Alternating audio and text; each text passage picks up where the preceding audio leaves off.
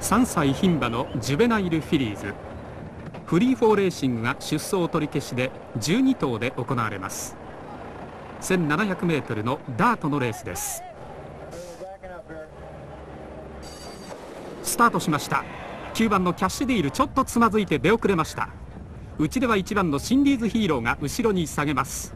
好スタートは3頭です。11番のノータブルキャリア13番のサンダーバーティーそして4番のナスティーストーム。現在5連勝中のレイジングフィーバーはその後ろ4番手あたりにつけています。さらに7番のカレッシングが続いています。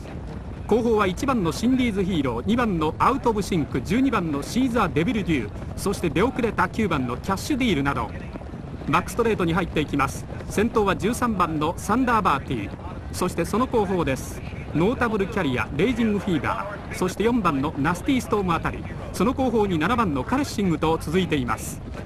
先頭13番のサンダーバーティーです。アンジョ・デサーモ。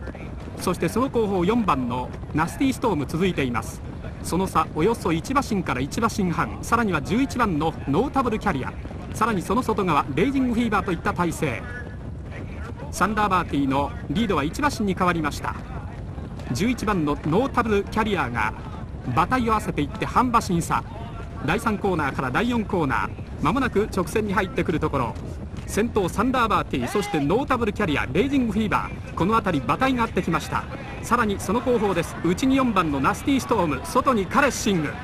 ここで先頭はノータブルキャリアに変わった。そして7番のカレッシングいい足で伸びてくる。連れて3番のプラチナムティアラ。外からは12番のシーザーデビルデュー。カレッシングはこの辺りでリードを取った。カレッシング1馬身のリード。外からはシーザーデビルデュー。さらにプラチナムティアラこの辺りも伸びてくるが先頭はカレッシング。カレッシング1馬身のリードを保っている。カレッシング1馬身差ゴールイン。人気薄のカレッシング見事に差し切って勝ちました。